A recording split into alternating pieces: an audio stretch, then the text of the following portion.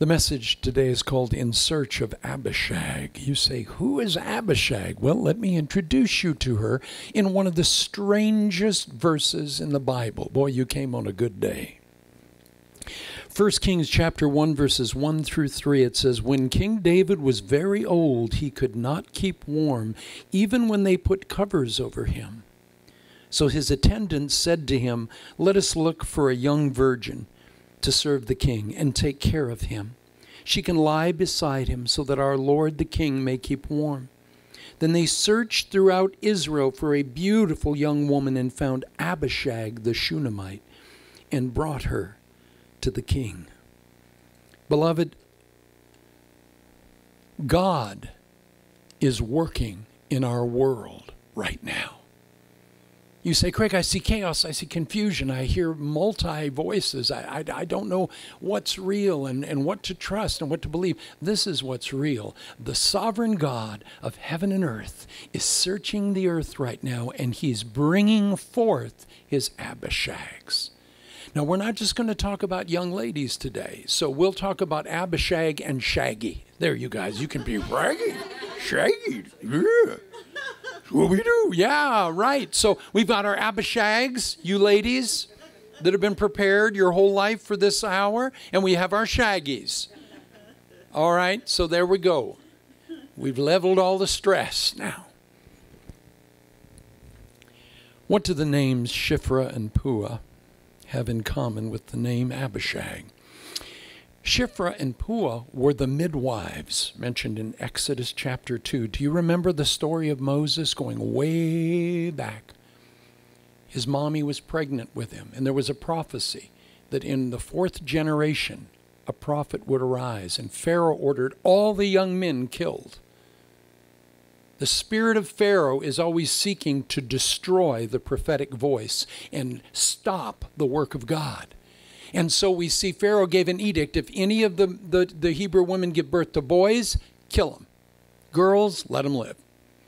And Shiphrah and Puah were the two midwives in charge of the birthing stools. And so, guess what? They lied to Pharaoh and said, Yeah, all the boys are dead. Or they said, Gosh, these Hebrew women are so robust. I mean, they give birth to a kid before we come in and we don't see the boys. They protected Moses and I want you to see what a midwife is. A midwife is a person who can be trusted at the most intimate, experiential moment of birth. From womb to tomb, today we're going to see.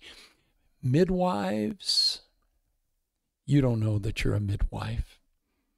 But did you know that God trusts you in intimate moments with other people? Did you know God had to trust a midwife? Did you know mamas were the most vulnerable at the moment of birth? Did you know that the only people allowed in the holy birthing room were godly midwives? Because from beginning of life to end of life, we're going to look at from womb to tomb, from supervising birth to dealing with hospice care at the end of life birth, womb and tomb are the most intimate moments of tender yieldedness. Midwives were trusted with the life of the child and the mother. And did you know God has been making you all your life into a midwife that other people can trust? Mm-hmm. That's the process you've been going through. Yes, it hurts. Yes, it's painful. Yes, it's difficult. And we'll find out today in order to be everything the King wants us to be, we're going to have to surrender some things in order to be exactly what He wants us to be. I don't know about you, but I want to be everything the King wants me to be in the moment. I want to be the servant in the room that will go anywhere, do anything at any time, in any context that He would request. No limits. I want to be available as an instrument in his hand, a surgical instrument that can be usable to him in any context. So, midwives with Shiphrah and Puah, we see at the beginning of life, the sacred moment of birth is such a secret, sacred place that has to be guarded from bacteria and guarded from, from any intrusion that would soil life and as it comes forth. But we're going to look at Abishag today. Abishag is going to represent a young woman who is in charge of the ADLs all the activities of daily life as David is an old man just about to die. He has a year to live. He's lived a long life as the greatest king God has ever set on a throne. But we see David in 1 Kings 1 1 through 3. At, he's on his last leg.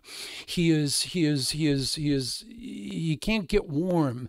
The fire won't make him warm. The clothes that they're putting on won't make him warm. And so, according to custom, they say we need to find a young woman who will stand before the king, cherish the king, adore the king, and take care of the king.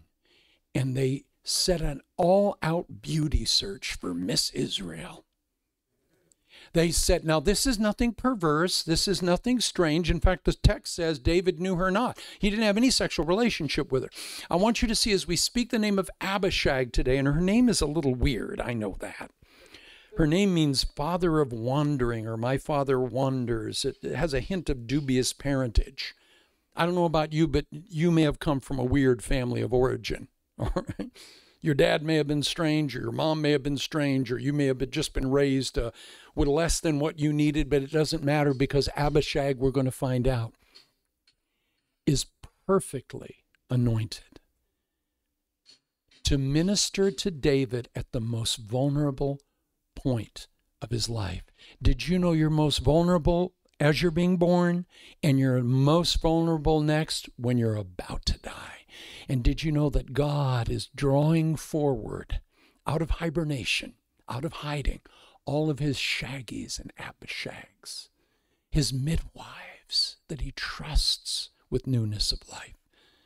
And his end of care hospice workers like Abishag that care about you. You've never been more vulnerable than when you're coming out of your mother's womb, and never more vulnerable than just before you step into eternity. Have you ever thought about that?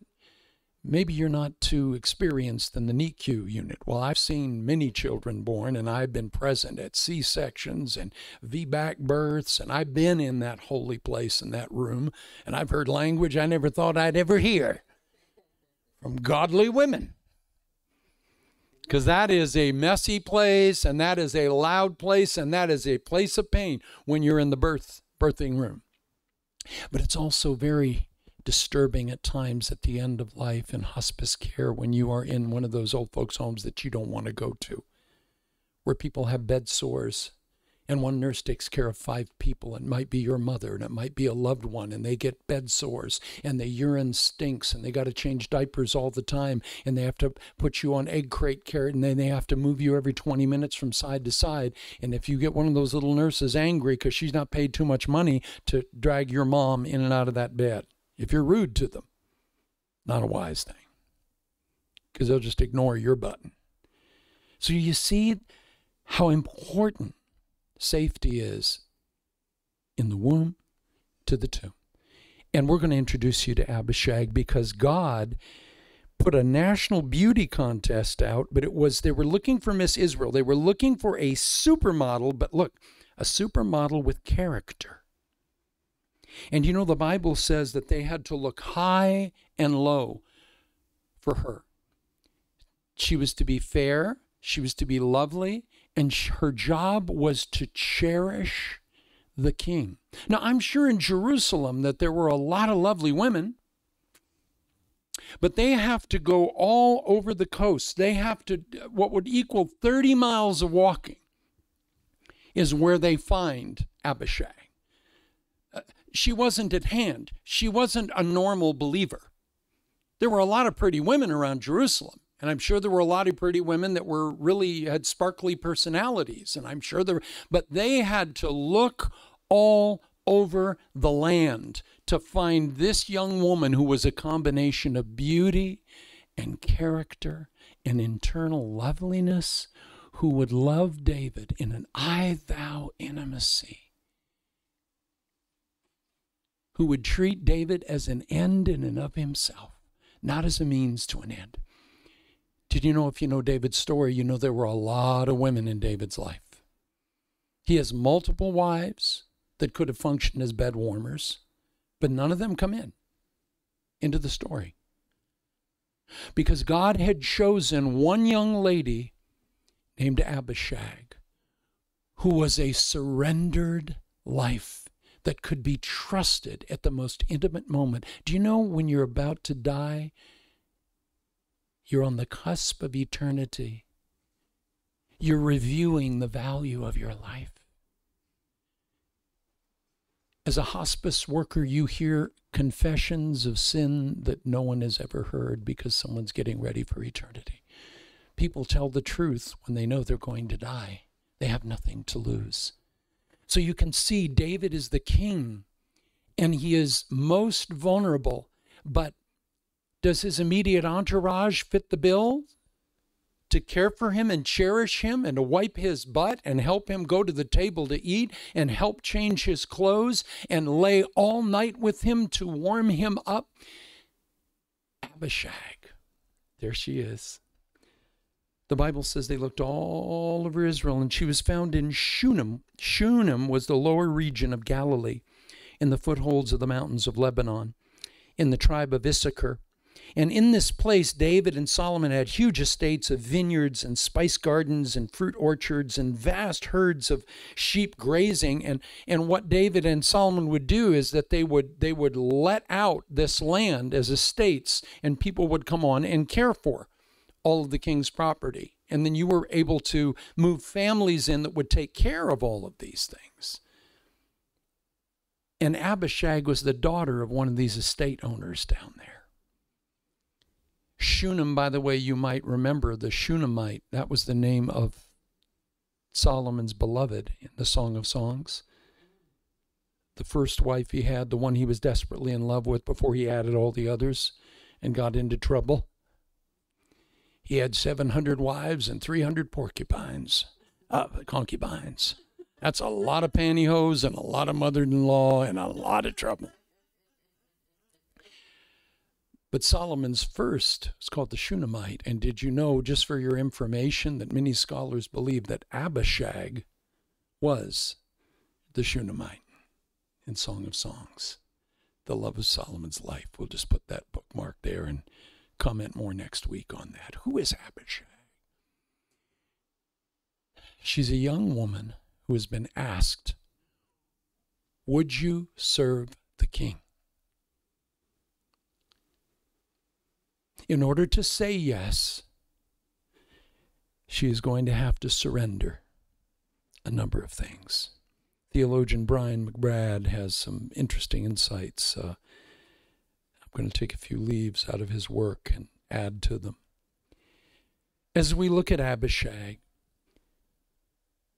we see that to find her, they had to go 30 hours away, but I want you to notice she is called forward with a destiny to be in the king's palace. And, beloved, you have to look at David's life. He's an old, cold, frail king, and he needs someone to cuddle to keep him warm. But that someone is going to be on 24 hour care. She is going to stand in the king's presence. That means a servant of the king. She is going to cherish the king and adore the king. She is going to meet every need the king has. Now, I've got a little handicap boy named Michael, and I know exactly what's involved in meeting all of his needs. I'm a shaggy when it comes to Michael. I stand in his presence day and night. I change his pee. I wipe his butt. I put him in the shower. I feed him. I give him water to drink. Every two hours, he gets his tummy drinks for his caloric intake. And Michael is utterly cared for and cherished by Daddy and by Rebecca and by Vicky and by all of his beloved caretakers. Even Dennis sometimes will mess with him. And Dennis has to remember to put that child lock on his truck door because Michael loves to open the door mid flight. But you see, I stand in Michael's presence. I serve him. I honor him. I cherish him. I adore him. And I meet every need the boy has. Now, I want you to see something about Abishag. She's not just hired help. to say yes, to be everything the king needs her to be, she's going to have to surrender some things. First of all, it says that she was a young virgin. That means that she was still living in with her family. For her to leave Shunem and go to the king's palace, she's going to have to leave behind everyone she's known that is precious in her life. Did you know sometimes in our walk with the Lord, family often can be a tool of the enemy to keep us from walking with the Lord? Have you ever had issues in your family? I, when I first got saved, my parents were glad I got religion, but they didn't like me write, writing in my Bible. I started underlining the Sermon on the Mount in Grandpa's Bible, and they did. They they wanted me to get religion, but not too much. I was getting a little crazy. I was going a little over the top. Ever had issues in your family where they might be the ones putting the actual brakes on in your capacity to serve the king because they just don't understand? Well, there's nothing new under the sun, beloved. Abishag had to choose the king over her family relationships. Ever had to do that? It's not being rude to them. It's just simply saying, I have a choice and I need to surrender my family obligations in order to be all the king needs to be. Next, she surrendered her freedom. She was a young woman.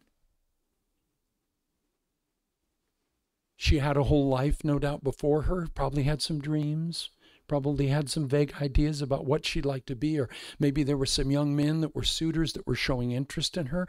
If she says yes to being all the king needs her to be, she needs to surrender the allegiance she has to her family and her own freedom. Because if she takes up the yoke of service to the king, she is limiting her freedom. Did you know walking with God is a constant narrowing of the lane of your life? You know there are just less things you're able to do. It's not legalism. It's just if i walk with jesus there are certain things that don't go along with me. I got a huge big fat backpack and i'm trying to climb in the narrow way. No that's not going to go. So she has to surrender her allegiance to her family. She has to surrender her own freedom because if she takes on the yoke of service to the king, she's not going to be able to have the freedom to go and do anything else. But you know, it is glorious bondage when we take on the yoke of Christ because we're set in the lane of blessing and fruitfulness and fulfillment. I always like to say, is a train off its tracks really free, laying on its side, wheels spinning, going nowhere? Or is a train free on its tracks where it's free to fulfill its destiny at 100 miles an hour? Who's bound? We have people in the culture looking at us who follow Jesus saying, You're bound, you're weird, you're limited. Excuse me, we're trained on the tracks going and fulfilling our destiny. You're laying sideways going nowhere with your wheels spinning and you're free and I'm bound. I think I'll stay bound as a train on my little tracks.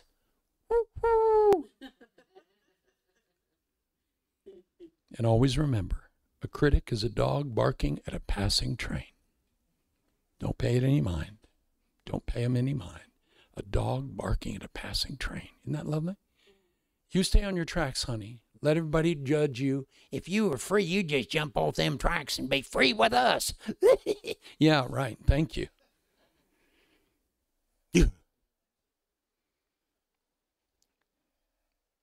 She gave up her family, she gave up her freedom and her friends, whatever association she had before she goes to David's palace. It's like, has God been parsing or removing people, places, or things from your life? Has He been closing doors? Has He been putting the horse shutters and blinders on your eyes where you can't even look to the left or the right?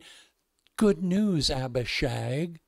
He is the one who's narrowing the lane of your life, Abishag and Shaggy. He's the one that has allowed you to live the life you've lived up until now that has made you so sensitive you can be one of his precious midwives, trusted in the birthing room, and one of his Abishags, trusted at the end of life. She was in charge of all the ADLs of David, the activities of daily life.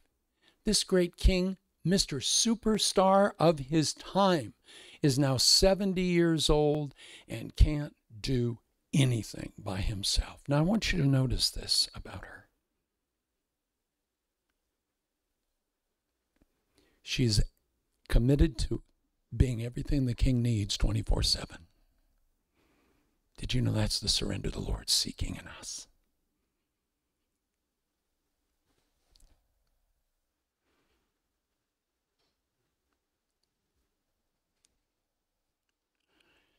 God doesn't need gold vessels. He doesn't need silver vessels. He needs yielded vessels. I'm not silver or gold. I'm not special. You, you don't need to be. You be a yielded vessel. That's rare as hen's teeth in the church world. Do you see why Abishag is so rare that they had to look everywhere. Why? Because she's a rare combination of meal and oil, and word and spirit, and head and heart, and beauty and character. Hello. It's as rare today as it was then. So the Holy Spirit is stirring up and waking up all of his Abishags and Shaggy, Shaggies. He's bringing forward all those midwives who are to be in the birthing room and the Abishags that are to be in the end of care, hospice. Because if you can be trusted at the beginning of life and at the end of life, you can be trusted with everything in between. Boy, Abishag is a unique little thing. And I want you to notice it says the king knew her not. This wasn't a sexual escapade. This wasn't something perverse. This don't call CPS on this story. This was this was a common custom in the time of David, right? It takes a body to give warmth to another body. You can't be warm alone. And this young lady gives up her family. She gives up her freedom. She gives up her friends and she's also surrendering her future. Everything about her life is going to go in the king's direction. She is going to be everything the king needs her to be. And, beloved, did you know it's just as rare today to find men, women, boys, and girls, God's little Abishags, that live only to serve Him? They're flexible in every way. Lord, I'm one of those universal instruments. You can use me, one of those universal push buttons for your TV. It'll just sort of work everything. Lord, I don't want to just be a hammer. Too many of us just are hammers that God uses to pound nails. I want to I want to be a tool belt for Jesus that I'm a screwdriver and I'm a hammer and I'm a wrench and I'm anything he needs me to be. So I have access to full tools when it comes to head and heart and meal and oil, word and spirit. That's the spirit of Abishag. And it doesn't matter age, Shaggy and Abishag are not all 14, they're not all in their 20s. Whatever age you are right now, God is beginning to bring you forth to the king's palace. Your time of usability is now. Get excited all of your life has been preparatory training for this season right now. God is searching for and he is bringing forth his precious Abishags. Surrenders the family, the freedom. And notice she surrenders her feelings.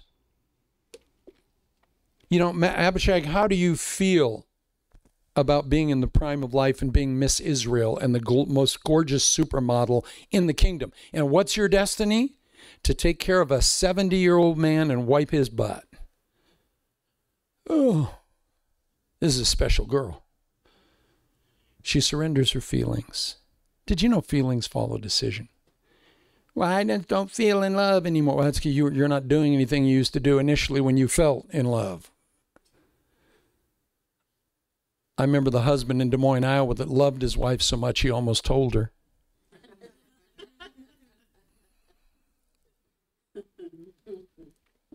Isn't that amazing?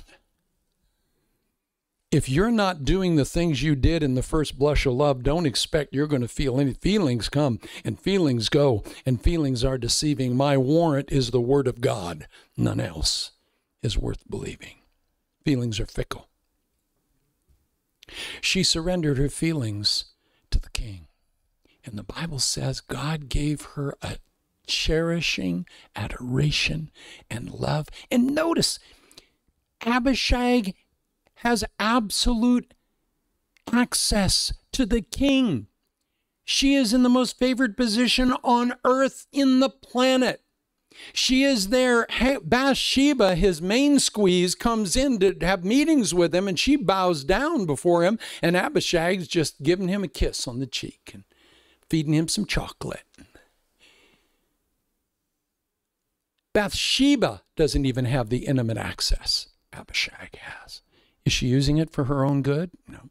She feathering her own nest? No, because she she is I thouing the king, subject to subject relationship. She adores David as an end in and of himself. She's not I itting him, subject object. She's not using David. Well, if I if I if I take care of his stinky needs right now, then someday I'll be a billionaire. That's not Abishag. That's why she's there, and none of his other wives are allowed in. He had plenty of women if he just needed a bed warmer. Where's Bathsheba, his main squeeze? Is she in here wiping his spit? No. She just comes in to ask for things. She comes in in this chapter, and David says um, in Hebrew, he goes, What do you want? Because every time Bathsheba shows up, she wants something. What do you want? Abishag doesn't want anything. She loves the king. She adores David. Her feelings are subjected to her destiny, and she is everything the king needs her to be. What an idea. Do you know how uncommon it is for us to be blessed by someone else? Has anyone done anything good for you lately? Um, Stacy came back from Hawaii and her and Mark were here and they brought this beautiful lei and two weeks ago and put around my neck and I preached with this lei. And I was so it's so pretty. I didn't want to bother it. I didn't want to hurt it. I'm like, she's trying to put this on my neck and I'm saying, well, maybe we should just put it in the fridge. And and I was resisting a blessing that Stacy was trying to put around my neck. She doesn't care if I bruised it or took it off and waved it in worship. It's mine, for God's sake. And I'm thinking, Craig, you're 63 and you're still trepidatious about receiving good things from someone. Letting someone get in, you, they let you get in the parking space, and you're like, no, no, you really can take it. God says, can you possibly say thank you and receive a gift? We're so unused to that. It's like it's like we're suspicious when someone wants to be nice to us. What does he want? What is their motive? Abishag had no ulterior motives at all. She did not want anything from David except that every one of the king's needs were met and that she was the one that was sensitive to meet whatever need arose. I love his Abishags and his Shaggies. When you meet them, you know, they're radiant, they're incandescent.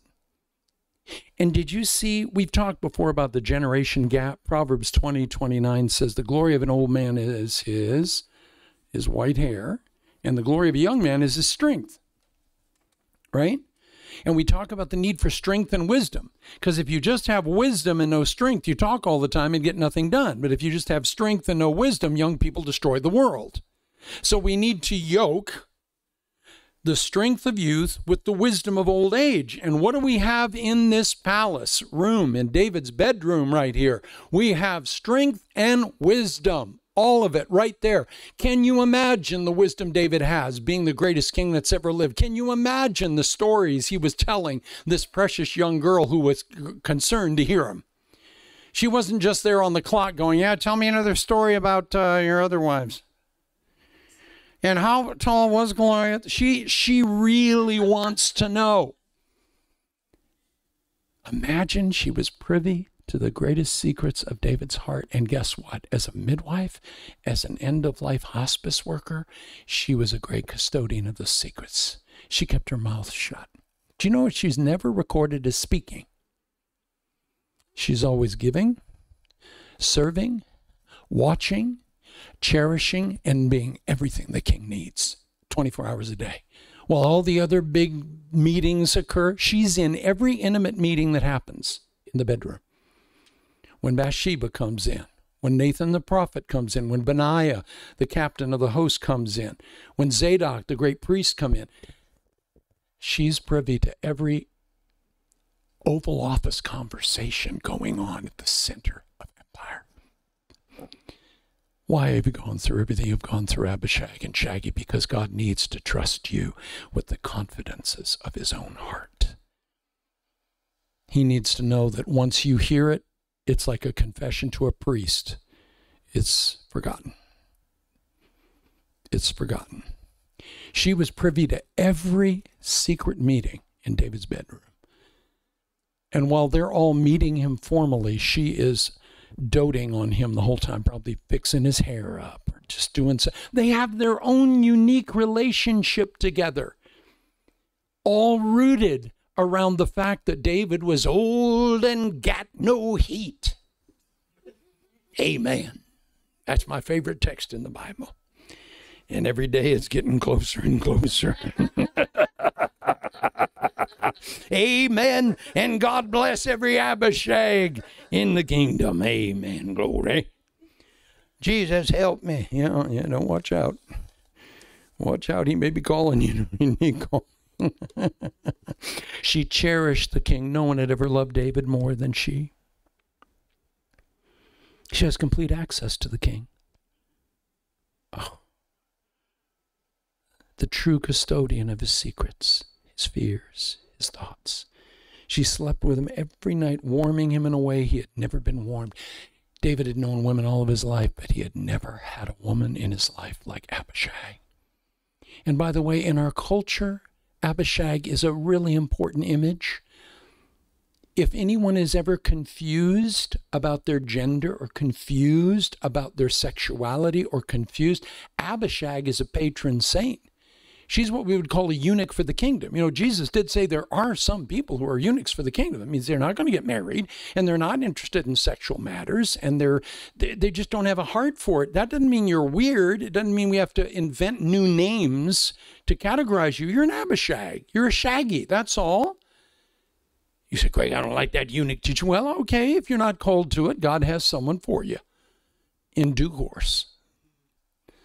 But if you happen to say, you know, I don't know where I fit and I just don't fit anywhere, well, honey, if you don't fit where you are, chances are you're a pioneer. You're an Abishag. She didn't have any identity problems or, or confusions just because she is in love with David. She adores David, and yet she has no sexual relationship with him.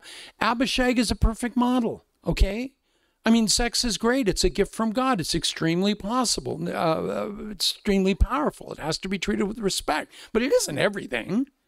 I mean, things you want at 16, you're not that interested in at 63.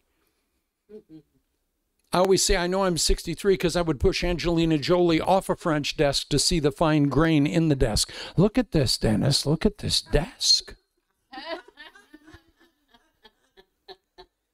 I'm only interested in collectibles now. So uh, you see me in the antique boutique, and I'm I'm hovering in over things.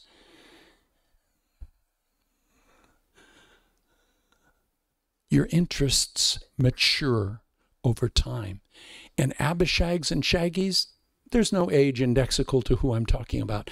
They're all the 7,000 who haven't bowed a Baal nor kissed his mouth. They're all those who have been set aside. They've been hidden in hills and caves, and there are not a lot of them around. It's not like you can go, where do I find Abishag? Go to Abishag Barn.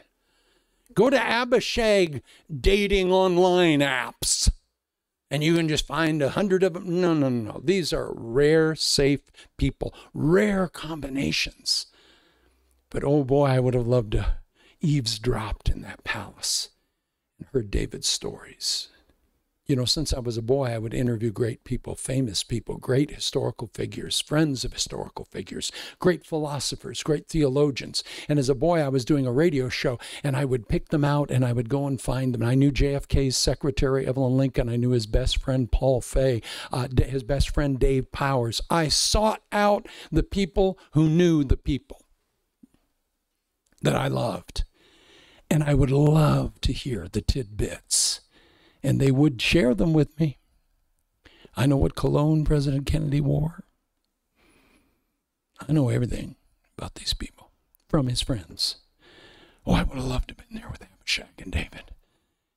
Done a little podcast interview, just put a mic in there because she was safe enough for him to share all of his fears, all of his failures, all of his regrets, everything he needed to share just before he steps into eternity. And she was there when he died. Holy moment. Holy moment. I wonder if you have any Abishags in your life or Shaggies, safe people that you would trust in the birthing room with you, that you would trust caring for you in hospice. Well, cheer up, beloved. God's search for his Abishags and Shaggies is going to be fulfilled, and you're going to start seeing them pop up in the culture. Watch the culture. It's all chaos and loudness now, but you just watch as God's Renaissance Abishags start popping up. Extraordinarily gifted people that love him. And they're not just pretty or talented or sing well or smart, but they have moral character equal to what we see in Abishag. We see a marriage of beauty tenderness, safety, trustworthiness, everything you'd want if you chose them as a midwife or end of life caretaker. You say, Craig, is this the puzzle box you told me about? Yes, it's you.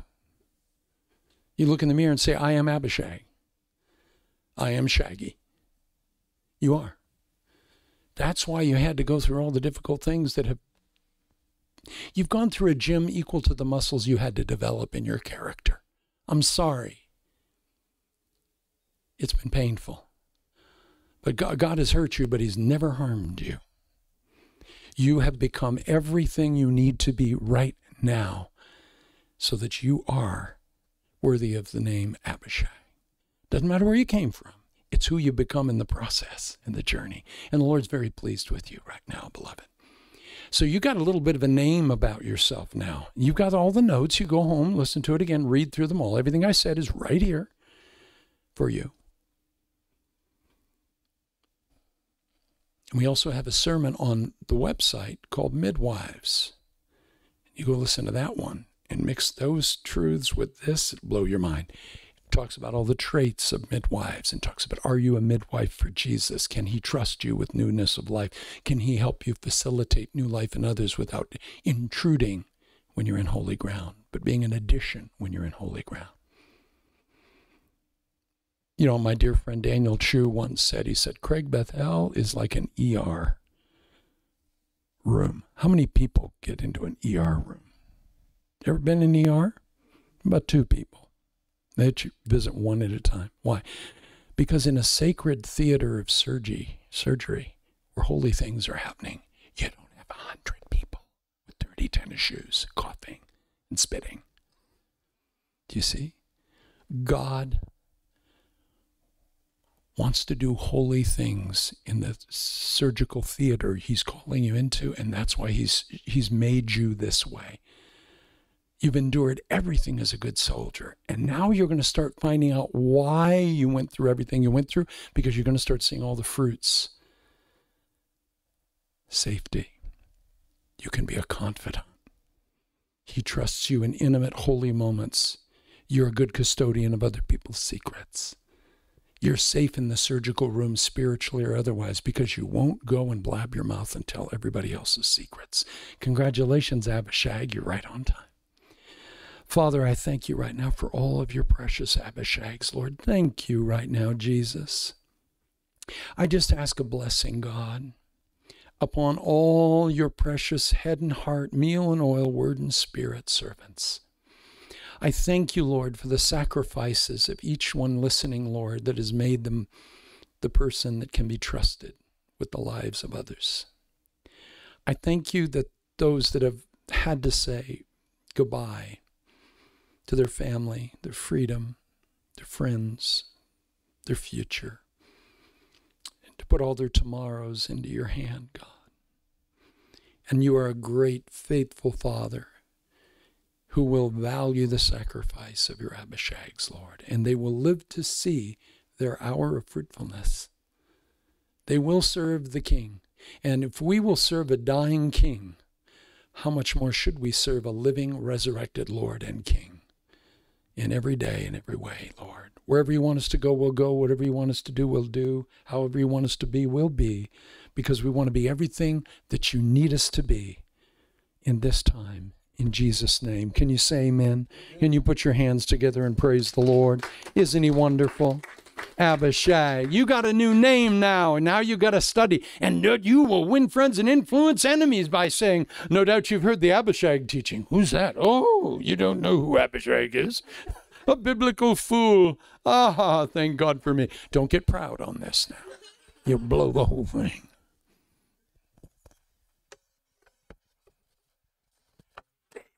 Come on up, brother.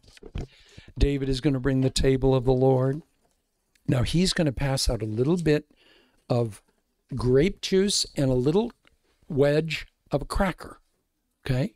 And if you don't understand this, this is called communion. It's called, it's nothing mystical or strange or weird to be frightened of. If you're uncomfortable with it, you don't need to take it. But if you do, he's going to explain very simply what it is that we do as we go to the table of the Lord.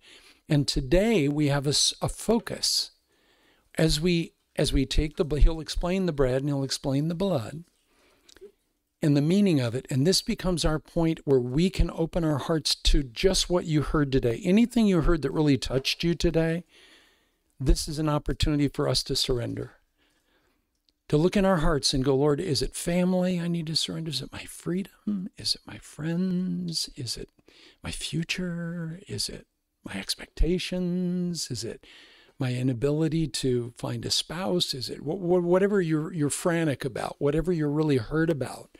It's a good thing to make this moment, as David leads us, into that moment where we just surrender everything we are to Him. Come on up, brother. We love you. Thank you so much. Bless you. Take your Peace to you this morning. Amen. Peace. That's exactly what Jesus said to the disciples when he first revealed himself after he resurrected. And then he showed them his wounds. Isn't that cool? Viewing his wounds, as we can meditate on that today, produces peace. There were so many prophecies in the Old Testament that talked about the Messiah sacrificing his body allowing it to be broken for ours to be physically healed. And that's what Jesus was talking about with the bread when he gave it. He said to break it and to, and to consume it. This was for your healing and wholeness. Let's partake.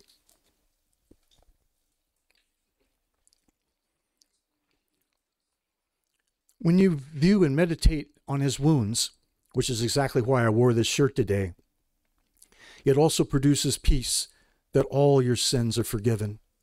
He took the punishment for every sin you've ever committed and ever will commit on the cross. And that produces peace because now you have full acceptance by the Father because of the sacrifice of the Son. Isn't that beautiful? Receive his peace today as we consume. Jesus did it all for us. Let's continue to celebrate his resurrection. It's the most incredible thing that's ever happened in the history of humanity. And we get to celebrate and be part of it by just saying yes. Don't have to do anything, just say yes. Be at peace today, brothers and sisters. Hallelujah. Thank you. Bless his holy name. You know, things get so complicated that we forget that it's really easy to meet Jesus. It's not difficult. Jesus said, Behold, I stand at the door of your heart and I knock. And if you hear and you open the door, I will come in and have fellowship with you and you with me. But he's standing at the door and the doorknob is on the inside. He, he doesn't force his way in. We must ask him. It's so simple. It's like, so I don't need to climb stairs on my knees and bleed and bells and smells and incense and nonsense and understand everything. No, no, no. All you need to do is open the door in the submarine underwater. It's sort of a simple thing to do, isn't it? you let the whole ocean in. That's all Jesus says. He doesn't say decide, he says surrender. You know? When I was a boy, my dad would have me run and jump into his arms in the swimming pool. And you know what? Never entered my mind he might drop me, and he never did. But I ran and lapped into his arms. It was an act of total surrender. That's all. He just says, open the door, say yes. Put your little hand up and go, I'd like whatever the man's talking about. I'd like to know Jesus too. I'd like to belong to Jesus. Okay. All right. That's all he asks is that you say yes in your heart. That's all. Yeah. You don't need to feel lightning. I remember in the new movie, The Chosen. By the way, if you want to see a movie about Jesus, watch The Chosen. Three, three episodes. If you want to know about Jesus, watch The Chosen. It's all the rage on television right now.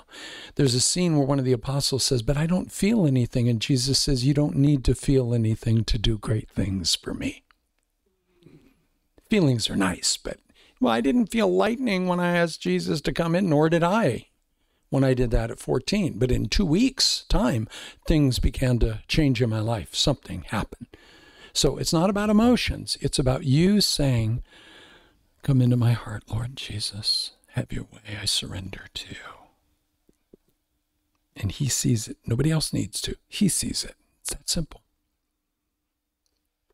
How do I know if I did it? Well, did you ask him? Just say, Jesus, come in. Let's bow our heads and close our eyes. It's nobody's business. No one looking around for any reason. Maybe you would say, Craig, I, I, I would like to open my heart to Jesus. All right, well, let's do it right now. No time like the present. We just open our heart. Just imagine opening the door of your heart right now, all the way open, without fear, and just say, Come into my heart, Lord Jesus. I give you my life. Be my Savior and my Lord. Forgive my sins. Make me your own. Amen. Open your eyes.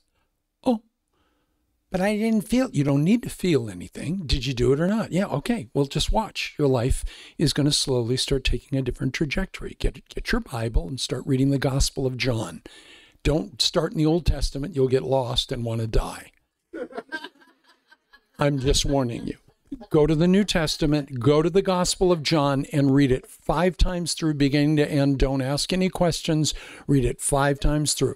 And what I did is I read it through and I just took a, a pencil and I underlined any questions I had. As you're reading the chapters, if you don't understand something, underline and make write a question on a piece of paper. And then bring that to me and I'll answer all the questions. Isn't that fun? Bring it to a Christian friend you know and say, I read the Gospel of John five times, like the pastor told me to. I didn't understand most of it. Now I'm getting more sense, but I do have some questions. Then hand those questions to them and they'll answer them, and then you can go on. But start there and stay there for a while. You can't OD on the Gospel of John. You're not going to hurt yourself. Amen. Will the Lord bless you and keep you? The Lord make his face to shine upon you the Lord lift his countenance unto you and give you peace. Amen. In Jesus' name, we love you. We're here for you. If you just want to chit chat, or I think we have some coffee back here. Boy, we, we do have a setup. See, they're they're they're rebuilding the whole hotel, and they gave us extra coffee. So you are you came on the right day. There's even a little cereal for the kids, for all the teen group in here. We hope today's message has been a blessing to you, and if it has, please visit our website at drcraigjohnson.org. There you can find additional messages of encouragement. And if our ministry has been a blessing to you, please consider us in your ministry giving, as we depend solely on the financial assistance of our listeners like yourself. Also, please feel free to send any personal prayer requests. You can find us online at drcraigjohnson.org. God bless you.